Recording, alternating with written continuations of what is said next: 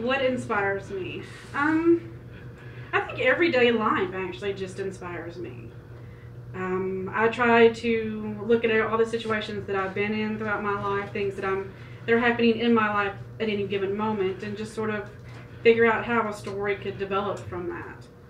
Um, a lot of scenes from different books have just been things that I just did, um, or conversations that I've had with friends, or just different things that I've experienced throughout my life. Um, so I think that's life pretty much just inspires me to write. And then reading, I love to read.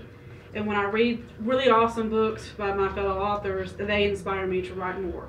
You know, they're telling a wonderful story, and I want to tell something, maybe not just like that, but you know, if I read a very cool vampire story, I want to read, write one of my own. If I read one about shapeshifters, I want to write my own, which I did with that with Shifter.